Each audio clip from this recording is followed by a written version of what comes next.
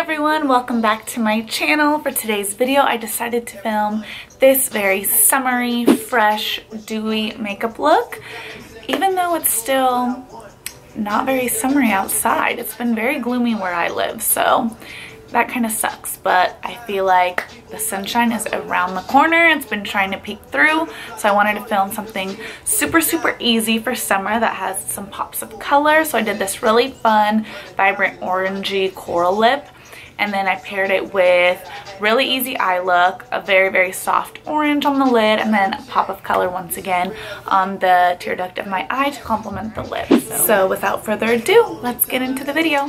Alright guys, first I'm grabbing my L'Oreal Hydra Genius Moisturizer and I'm just going to spread that all over my face to make sure my skin is nice and moisturized before we put all of the makeup on.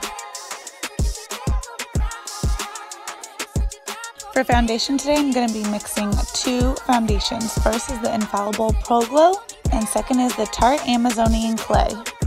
I went ahead and put a dab of each of these on the back of my hand and picked it up with a fluffy brush.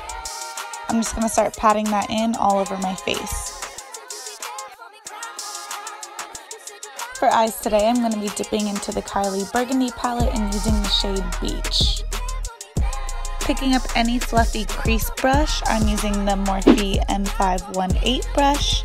I'm just going to dabble in that just a bit and start blending out that color right above my crease.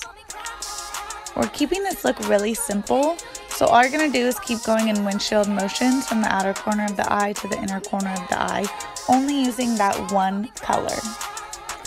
I didn't realize that my friend was in the screen the whole time, so just ignore her in the background. I love this shade because it's super neutral, it goes with everything, and it looks good on every single skin tone. So that's why I constantly dip into this palette. As you can see, I picked up a little bit more and I'm just once again going over those lines right above the crease.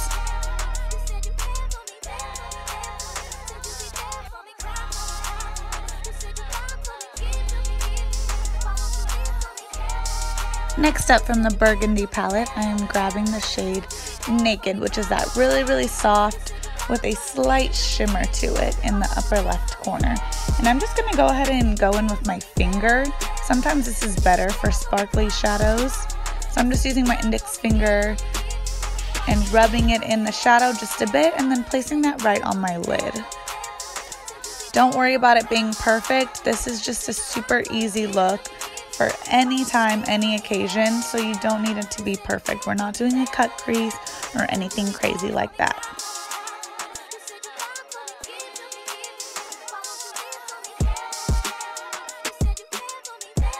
Just to be sure that these eyeshadows are mixing nicely, I'm picking up that M518 brush once again, and I'm just going to blend out those shadows.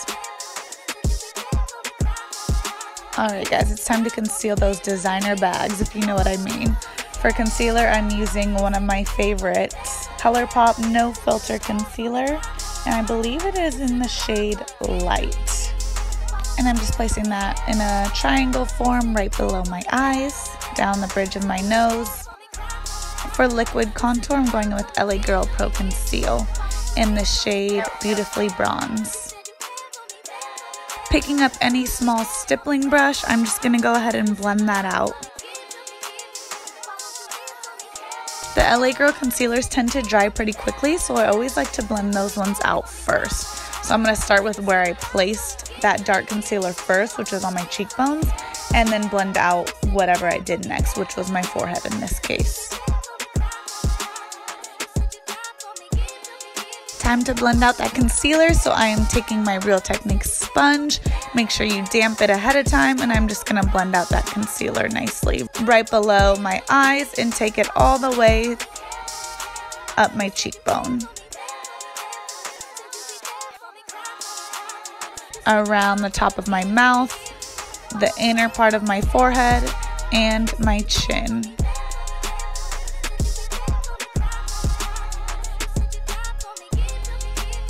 To set my concealer today, I'm going in with Laura Mercier Translucent Powder. And I'm just going to place that down with a different beauty sponge that is not damp. and put it right over all the places where I put my concealer. So under my eyes, on my chin, on my forehead, and above my lip.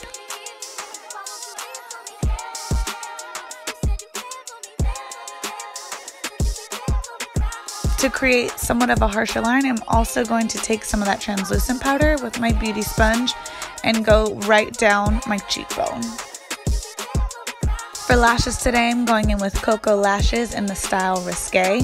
I've found that I've been using these lashes a lot lately.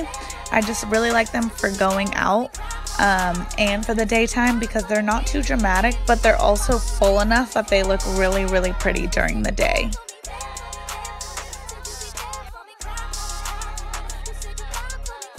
Now that we've let that translucent powder bake for a few minutes, I'm going to take a huge fluffy brush and just wipe that away.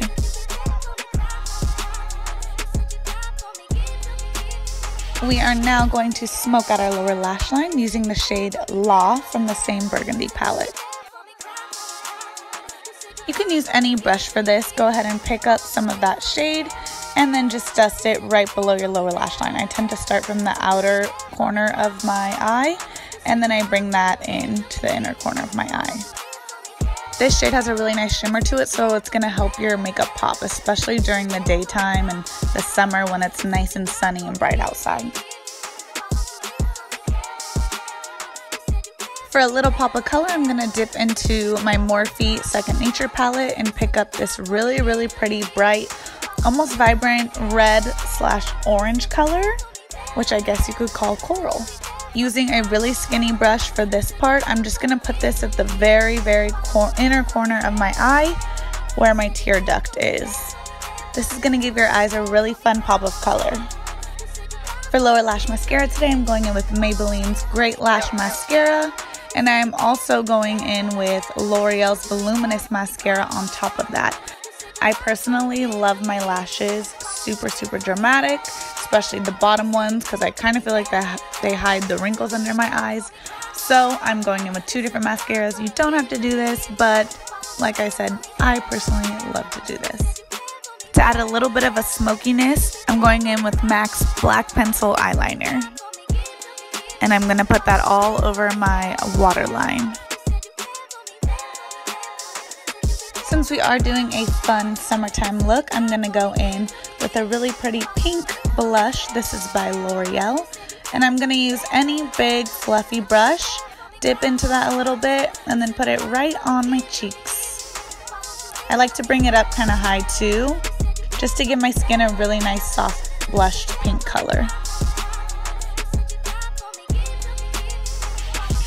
To carve out my cheekbones today, I'm going in with Kat Von D's Shade and Light palette.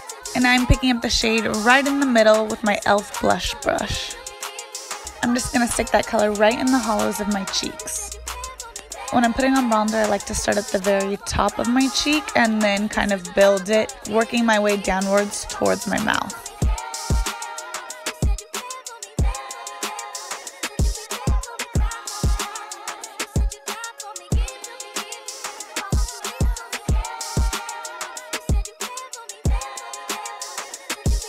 Taking that same contour color, I'm just going to spread this at the very top of my forehead and underneath my chin as well.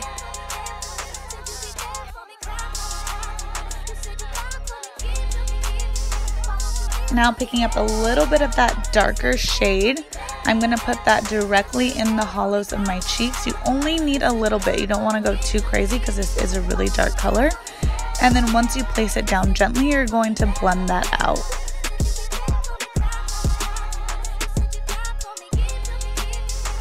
I want to be extra, extra glowy for this look, so I'm dipping into my Anastasia Beverly Hills Ultimate Glow Kit, and I'm picking up the two shades furthest to the right.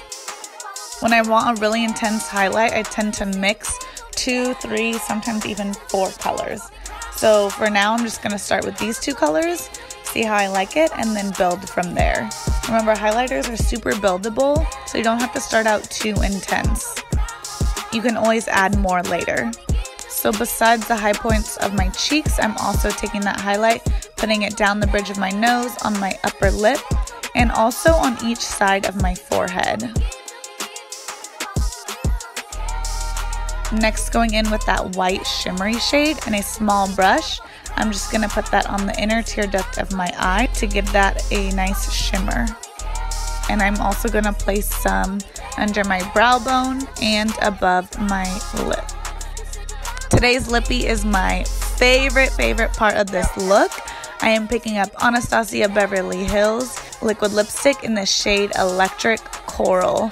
This shade can do no wrong. It's so fun for summer and you're bound to get complimented on it. It is such a statement piece, or should I say, statement makeup piece.